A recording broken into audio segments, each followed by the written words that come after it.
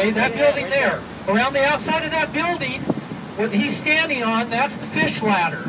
All these salmon that are coming up river here are going back off to your right, way back in there, and they're traveling around the outside of that building in that fish ladder, and eventually they go up over the top of the falls. So he's actually standing on the fish ladder there. We go.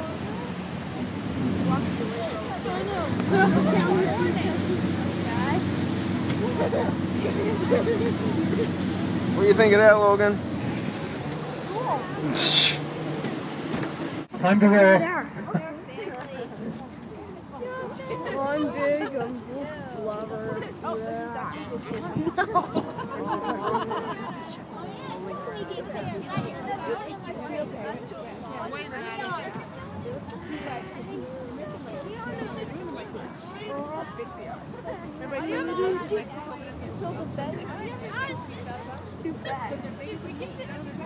All three of them have been tagged. They all three have numbers. On my phone. Wait, what, does that mean? What does it mean? What does that mean?